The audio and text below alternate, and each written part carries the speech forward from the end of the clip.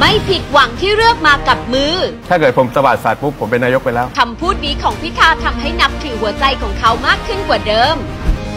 ขอบคุณที่ฟ้าให้เราเจอกันขอบคุณที่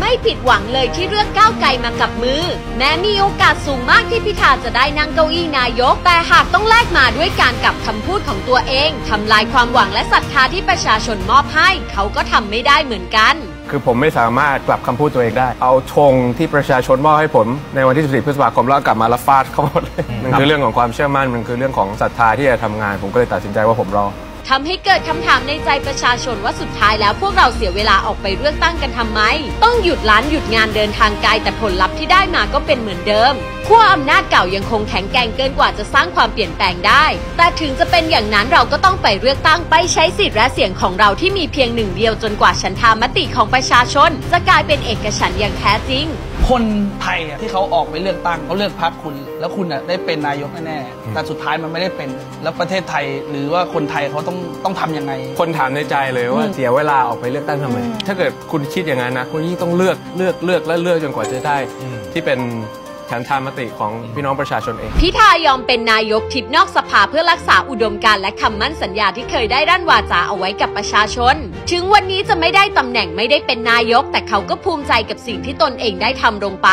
และทั้งหมดนั้นประชาชนเองก็เห็นทำให้พวกเรารักพิธามากขึ้นกว่าเดิม สังเกตได้จากผู้คนที่ไปรอพบเจอและส่งกำลังใจให้พิธาอย่างเนืองแน่นไม่ขาดสาย คนทุกเพศทุกวัยทุกรุ่นหลายคนถึงกับหลั่งน้ำตาเสียดายที่พิธาและก้าวไก่ไม่สามารถจัดตั้งรัฐบาลได้ เอ่อผู้สูงอายุกับน้องเล็กๆเนี่ยจะค่อนข้างที่อิมีโมน้ชันงอลเด็กหน่อยที่มีน้องเด็กจับมือแล้วก็อื้อใช่ไหมฮะอ๋อล่าแล้วสุก็ดที่ระยองอีกอ่าแต่ก็มีที่แบบร้องไห้มีอะไรอย่างเงี้ยร้ก็องไห้จะอธิบายให้เขาฟังว่าไม่เป็นไรแล้วก็ให้พลังซึ่งกันและกันครับผมเองก็ไม่ได้รู้สึกเสียใจหรือว่าผิดหวังรู้สึกภูมิใจด้วยซ้ำไป ถ้าเมา มดดำถึงกับอวยพรวันเกิดล่วงหน้าให้กับพิธาและบอกว่าจะรอวันที่เขาได้เป็นนายกในสักวันหนึ่งและเชื่อว่าเขาต้องทำได้แน่ ขอให้คุณมีความสุขมากขอบคุณมากแล้วก็ขอบคุณที่ประเทศไทยนี้มีคนชื่อทิมพิธาเนอะขนาดที่ FC ก็พากันมาอวยพรวันเกิดให้กับพิธาอย่างอบอุ่น พิธาและก้าวไก่ทำให้คนเห็นความสำคัญของการเลือกตั้งมากขึ้นจริง ๆ มีคอมเมนต์หนึ่งเข้ามาบอกว่าอาศัยอยู่นอร์เวย์มา